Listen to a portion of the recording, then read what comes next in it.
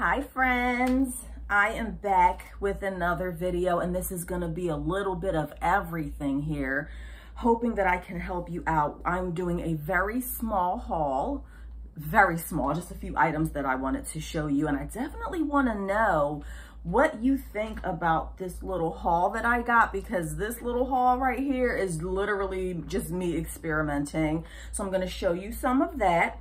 Um, I also want to show you a few items that have sold. This video is being recorded on September uh, 4th, 2023. I'm going to show you my sales from the last four days. Wish I could show you sales from before, but I had like a two week summer slump where I was barely selling anything. So this will be a small what's sold here. Um, and then I also want to chat a little bit about my numbers for August. It's not going to be comprehensive. This is all like spur of the moment. As you can see, I'm not wearing any makeup. um, so all spur of the moment, just grab some numbers because I wanted to show you all this. Uh, but before we get started, my name is Angela and I'm fairly new to this whole YouTube thing, but I am not new to reselling. I have been selling on eBay for about 15 years, give or take. Um, and if you've been watching any of my videos, you will see that I specialize or my niche, I guess, I don't know if you want to call it that, is um, bread and butter items. So where I live on the East Coast and my demographic area, what I do, where I am, how things work, you're not to find Chanel here. If you're looking for couture, if you're looking for Dior, if you're looking for high priced items, this probably is not the channel for you.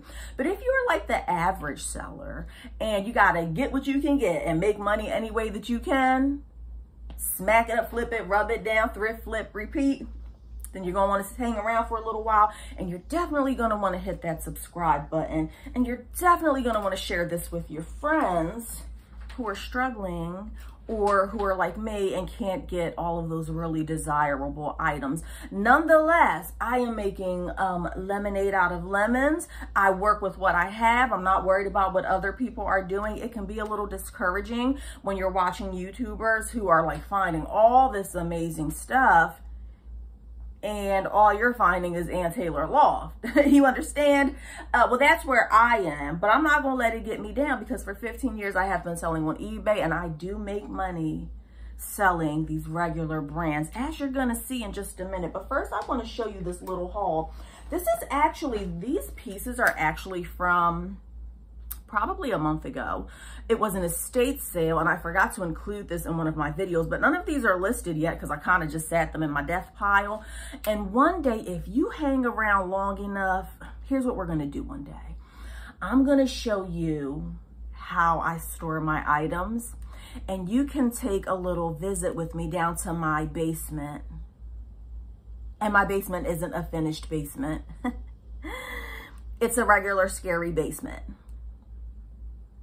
So if you ever want to see that, uh, how I store my stuff and my system, uh, hang around for a little bit. It's not for the faint of heart.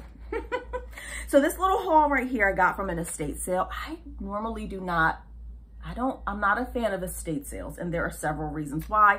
If you want to skip ahead and get to the haul, give me about three minutes to ramble. Um, I have found with estate sales that you're going to get one of two things most of the time you're either going to, one of three things. Number one, it's going to be an estate sale that is run by a company. And when there is an, uh, an, a, a third party involved, meaning that the family is not holding this sale, when there's a third party involved, a company that is running this estate sale, you're going to find that the prices are going to be a little bit higher because there's a middleman there who wants their cut of whatever is being sold. This is when families don't feel like being bothered. They're in a rush. They just want the stuff going. And so they hire out a company to handle the estate sale. And you're going to find that the prices are going to be a little higher. Um,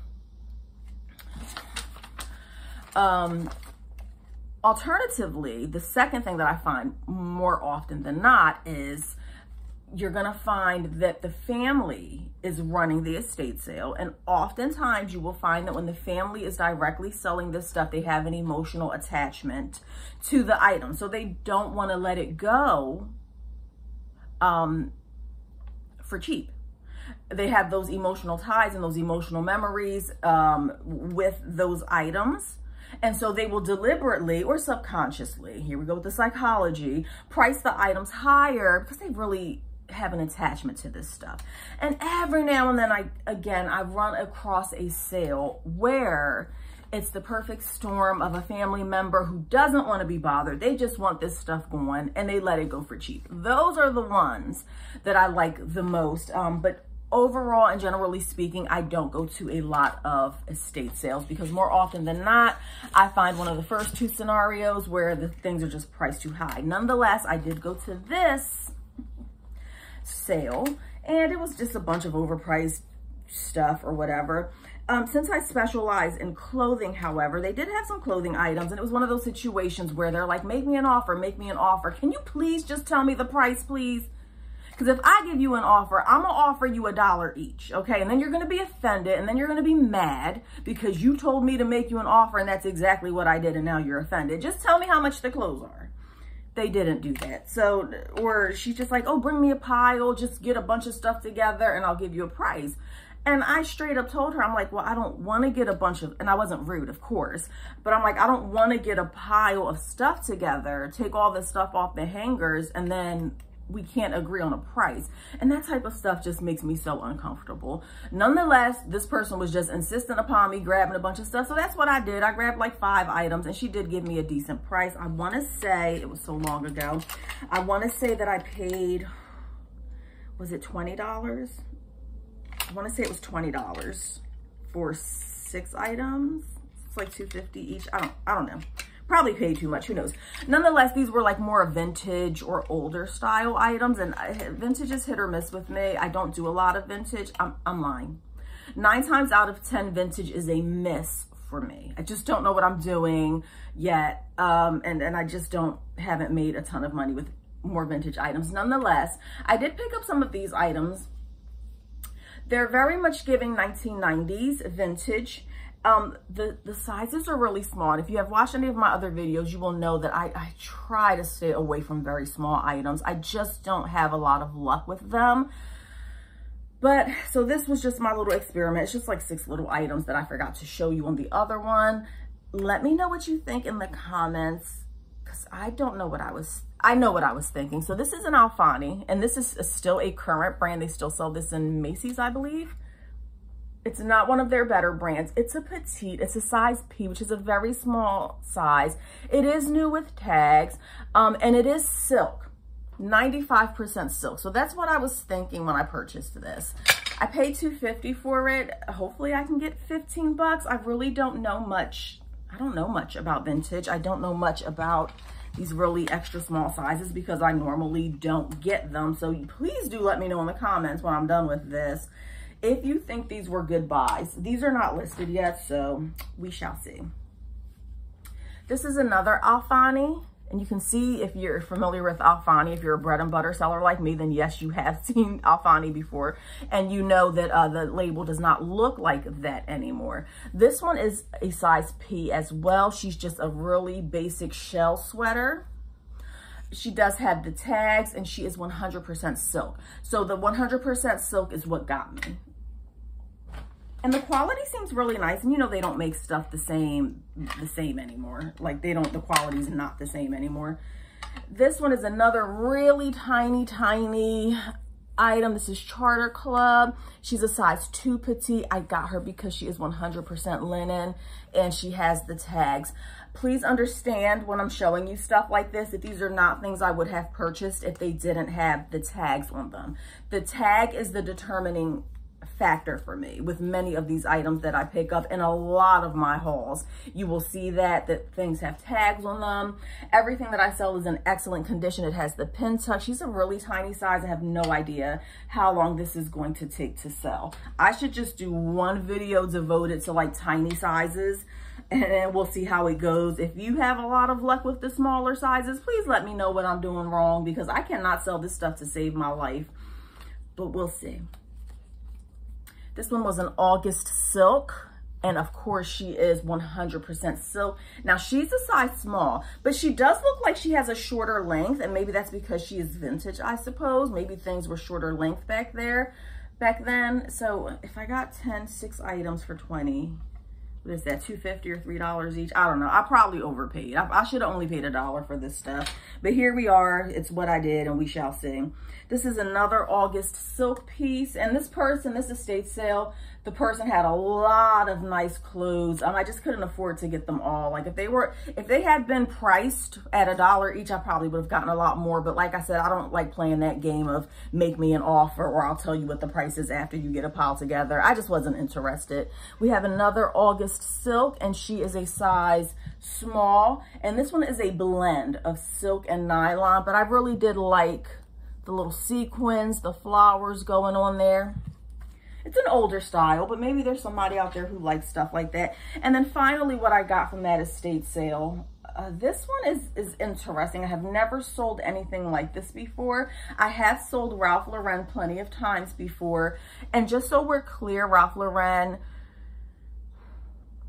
I treat Ralph Lauren the same way that I treat New York and Company, the same way that I treat Express, the same way that I would treat Loft. Ralph Lauren used to be that guy. It's, it's just not, that's not the case anymore, at least for me. When you're picking up Ralph Lauren, you definitely want to do your research because it is very hit or miss. Prices are all over the place. The average button down Ralph Lauren, you're going to get maybe 13 or $15 for it. So like I said, no different than Express, Talbots or anything else. That is a, your regular bread and butter item. Don't don't be mistaken in thinking that Ralph Lauren is like some type of real great brand because it's not. At least that hasn't been the case with me. I did, however, sell a 100% white linen men's button down Ralph Lauren. I think it was more of a vintage because it was my husband. I stole it from him and sold it. Um, and I actually sold that within probably less than a week and it sold for $40. So there's something about, that's why I said comp it out. But I'm going to tell you that 90% of the time, Ralph Lauren is just a miss. It's just a basic. But I did get this. It looks like an older label and it looks like it's a, I always get confused with this. Can you let me know in the comments when it's a P and an S? Does that mean petite small or, or is that the Spanish? Because in Spanish it's like pequeño that starts with a P. So some some manufacturers will put the P, which stands for pequeño, um, and S, which stands for small, and then other manufacturers, the P stands for petite. I'm confused. I don't know. I'll have to measure it out. This is 100% silk. I took a gamble on this she, because she is silk. She does have the crest there. So I don't know. I, I, haven't comped this out yet. I'm very curious to see if this is something amazing or if this is just your regular everyday bread and butter item. So that was it for that. It was just a little tiny haul that I forgot to show you all. Let's get into what's sold for August. So like I said before, um, every year I have a summer slowdown, right? Happens without fail. I'm already accustomed to it. That doesn't make it any easier because losing hundreds of dollars in a month is not, I'm never going to be okay with it, right? But it happens. And sometimes it happens in July, sometimes it happens in August. This year, it, it was the last two weeks of August were pitiful, horrible. It was really difficult to make sales and I was down to maybe making one sale a day. If even that, there were plenty of days where I didn't make any sales at all. So keep that in mind when I am giving you my August numbers. This is not fully in depth. Um, I didn't calculate everything down to the detail. This is just a really broad um, idea of what's sold. But first, I want to show you physically the eight, I believe I have eight items. Did I forget the, of course I did. I did forget the other one. Let me grab, give me one second.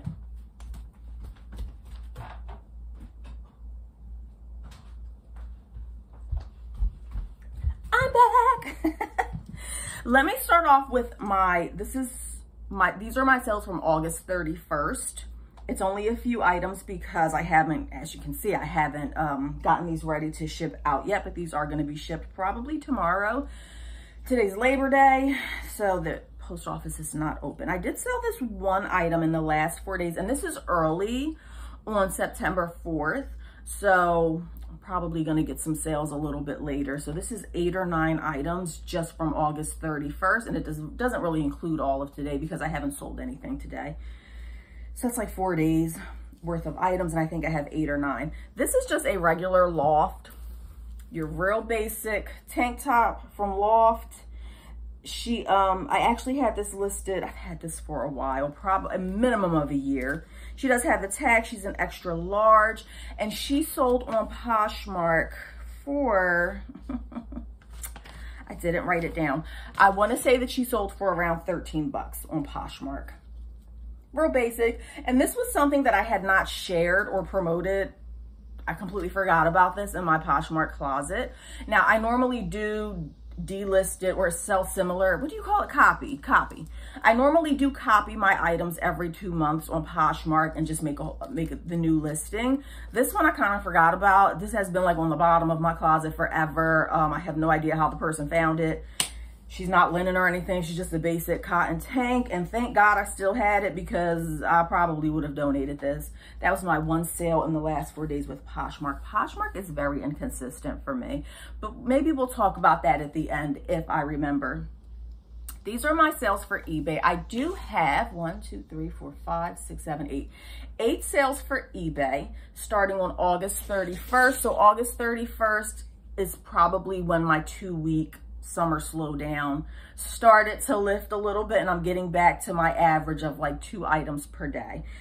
And as time goes on, I'm getting better and better at listing things and finding things. So I, uh, I, I feel like I'm starting to get to the point where I'm selling an average of three items per day, which is not a lot compared to some standards. But let's talk about these other standards. So y'all watch these other YouTubers who have thousands and thousands of subscribers, thousands and thousands of people looking at their videos. That's free advertisement, right? They're telling you their closet name, and I ain't mad at it. I'm not mad at it. Go ahead, make your money. I love it for you. I'm just saying do not compare your sales to people on YouTube who have thousands and thousands of subscribers looking at their videos. Some of those um, people who are watching their videos turn into customers. And that is why they have more sales than you and I do. We don't have that. So, you know, two or three, I don't know if that's average or not. You let me know. I have 1,100 items in my closet and, and slowly building even more. And I get on average two or three sales a day. That seems really low. The first thing that I sold was this Raya or Raya Sun. This doesn't even have, oh my God, they're gonna send this back. They're gonna send this back, I think. Okay, so I'm not 100% familiar with this brand. This is the tag that I saw, Raya Sun. It is brand new with tags and it is a size medium. But I'm just now noticing that on the actual item itself, it does not have a brand label. Hmm. It's like a handwritten size medium. So I don't know if this was a sample item. I don't know if the customer is going to want to return this because of that. So this is just a basic white tank. It has the crochet in the back. It's see-through. It has a tiny little spot, which I did mention in the video. I can't find, I mean, in the listing. I can't find it now. I feel like it was like a pen mark. Okay, I don't see it. I thought this had a little spot on it. Nonetheless, this sold for $9. I had it listed at 10. I started it off at probably $15. It wasn't selling as time went by. I kept lowering the price. I finally relisted it for 10 bucks and I did send an offer out for $9 and it did sell for 9 dollars I don't like selling things for $9, but every now and then, I'm just trying to get rid of some of this stuff. So it does happen. I sold these Lane Bryant Alley, the Alley pants. She's a cropped pant. She is hunter green. She does have the lace on the bottom and she is a plus size. This is from Lane Bryant. It was a size 22. And I was surprised that these took as long. Let me get this, let me get this tag off of here.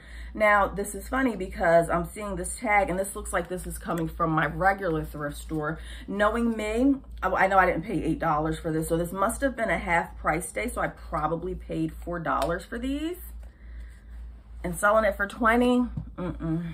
But I did have these listed. I wanted, I've had these listed for over a year lowered the price several times and as you can see they finally sold for $20 and I believe that this was an offer that I sent out. So the Raya Sun that I just showed was an offer that I sent out and the Lane Bryant was also an offer that I sent out. So I had these listed for 23. I sent an offer for 20 bucks. Definitely thought they would have sold for more than that, but that wasn't the case. The third item that I sold was this Zenergy by Chico's outfit set. I forgot where I got this from. I got this from my honey hole, I believe. Yes, that's where I got it from. There's a church that just recently opened up a thrift store about a year or two ago when they first opened. It was a honey hole. You could find stuff with tags. The prices were super reasonable. And the last few times that I've gone there, my secret is out. People know about it. And so I haven't been finding as much. I'm really sad about that, but so I did get this and I've had this listed for probably a year. She is a Zenergy by Chico's, size one, and it is the jacket and the skirt. Maybe I should have listed these separately and I sold this for, this was a full price, sold at $28 for the set. So this linen blouse, I've had this for quite some time. And as I can see, this was another one of those uh, full price thrift store items.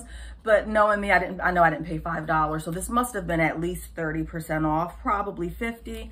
So we're going to say that I paid $2.50 for this. This is more of a vintage look.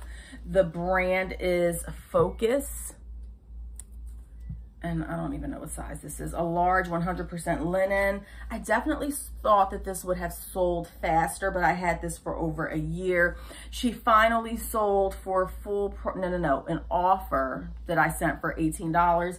I started her off at, I believe, $30 over a year ago, slowly kept lowering the price, and it looks like I finally relisted it at $20, and I sent an offer for $18, and it sold. I do feel like this should have went for more because it does have the tags.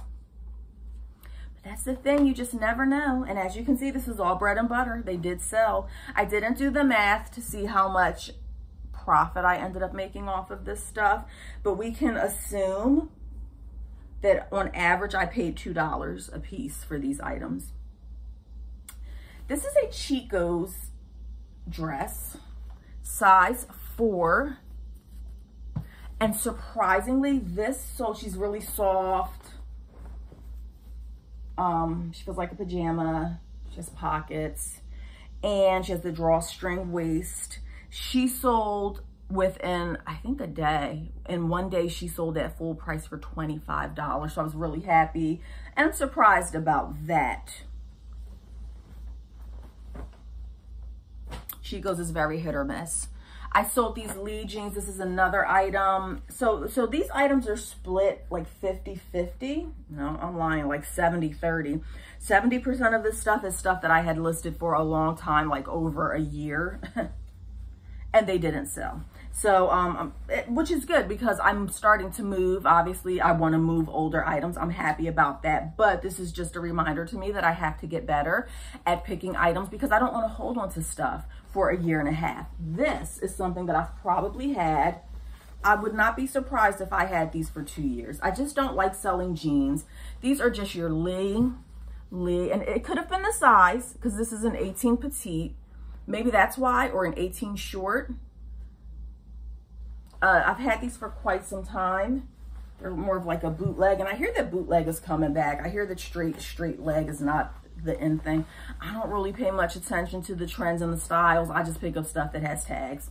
So this took a long time to sell, but they did. I finally lowered the price to $15 and they did sell at that full asking price of $15. All of these items that I'm showing you are plus shipping. I do not give free shipping on pretty much anything.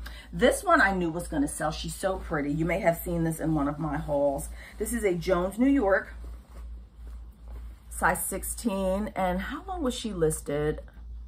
She is listed on Poshmark and eBay. Really cute. She has that daisy print. She does have the belt attached. I did list this as new without tags because the, the tag is still attached. The belt is still attached to the dress. She sold for, I had her listed at $22.99 and she sold for $20. Uh, the customer sent me an offer. And the final thing that I have sold in the last few days is this Lulu's dress. This is a Lulu's dress. I had her listed at $20. Just a basic black lace dress. She does have the little rufflies at the end.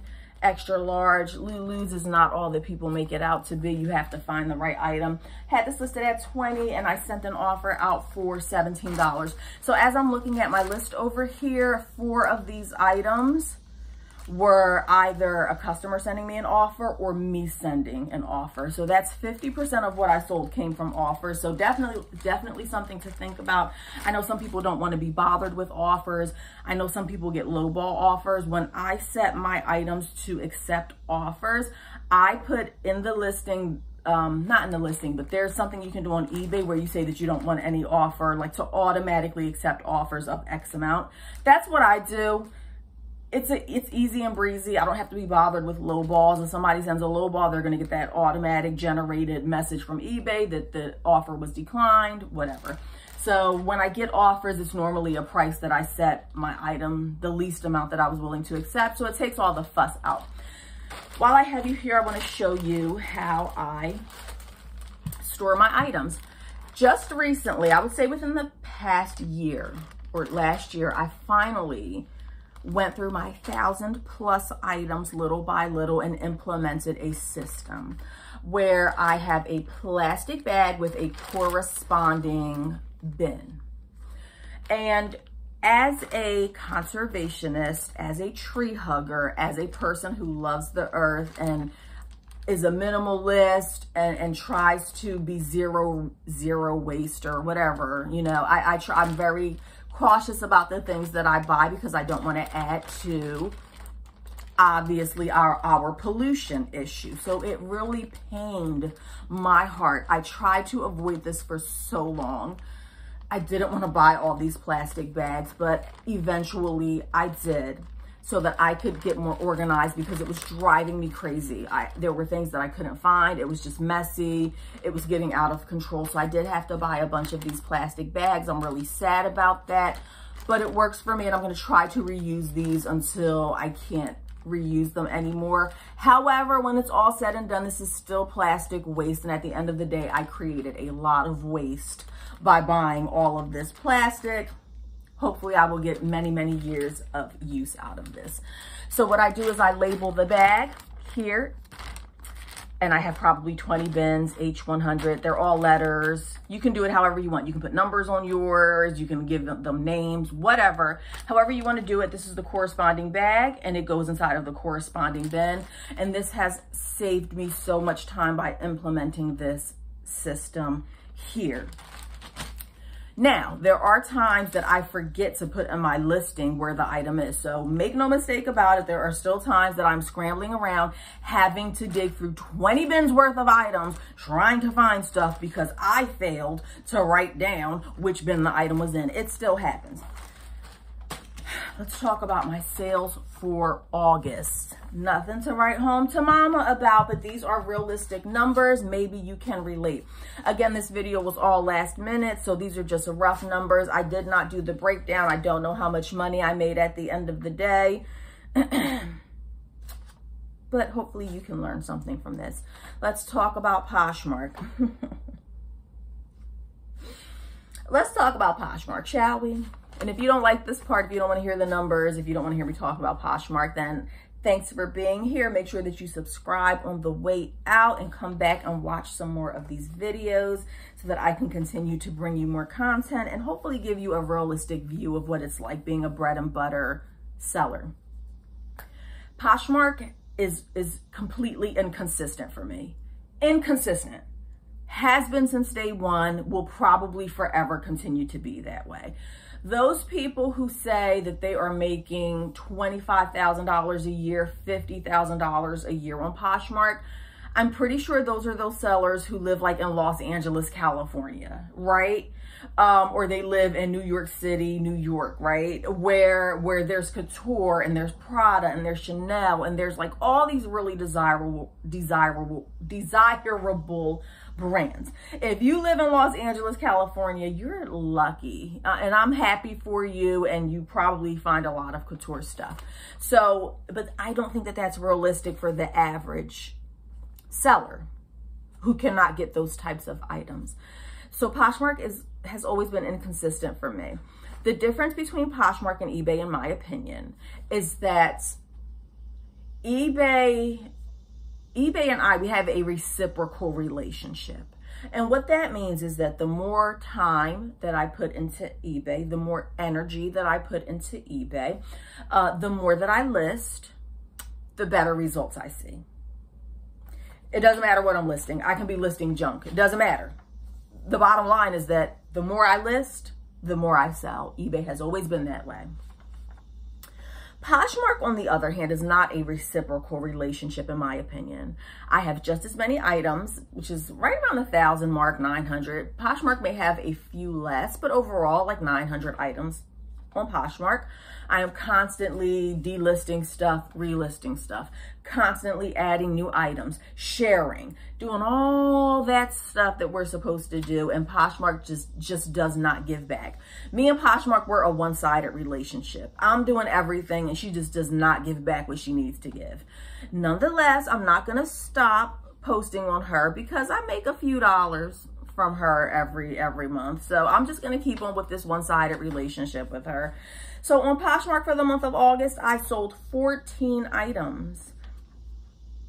And two of those were bundles. I don't get a lot of bundles on Poshmark despite having like 900 items on there rare to get bundles. I was very surprised because in the month of August, I actually got two bundles of two items, which was surprising. The lowest priced item that I sold on Poshmark was for $14, and I think it was probably that Ann Taylor Loft that I just showed you was the lowest priced item that I sold on there and the highest priced item that I sold on Poshmark wasn't really an item. It was a bundle that I sold for $55 and I sold a total of 14 items. On eBay for the month of August, I sold 47 items. So just compare that. I put the same amount of effort, I think, into Poshmark and eBay. Same amount of effort, same amount of items. I'm listing things every day. I'm delisting, I'm relisting every day. And on Poshmark, I sold 14 items, and on eBay, I sold 47 items.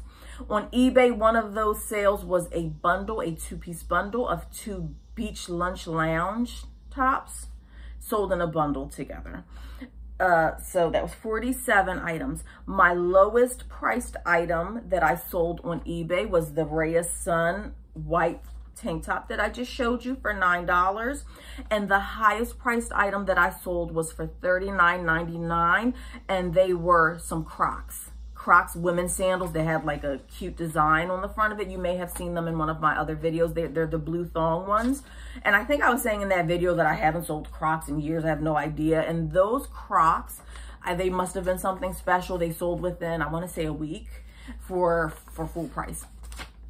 So I was really happy about that. Again, I don't know altogether what my profit margin was. Hopefully next month I will be more prepared and have that laid out for you. But this just gives you a, a, basic idea of what you can expect. Now, how do I do business? How did I sell 47 items? 47 items may sound like a lot to you. It might sound like a little bit. It just depends. I think that for having 1,100 items in my eBay store, I think that 47 items is not enough um, but as time goes by, I am getting better. And I have noticed as I was going over some of my recent sales, I'm noticing that more and more of my items are selling within three months. And three months for me is totally reasonable. Even six months. I don't want stuff that's going to sit for more than six, six months. So what I'm doing is I, have obviously I'm going through my store. I'm trying to clear out. If you've watched my other videos, you know that I'm trying to downsize my business and I want to concentrate more on items that are going to sell faster. This doesn't mean that that how I do business is going to change in the sense that I'm never I'm still going to be a bread and butter seller.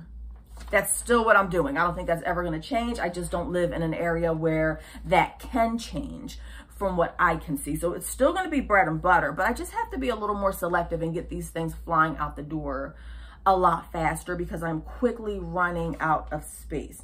So I hope that this video helped you and I hope that you learned something either about what's selling. As you can see, I should have done the math.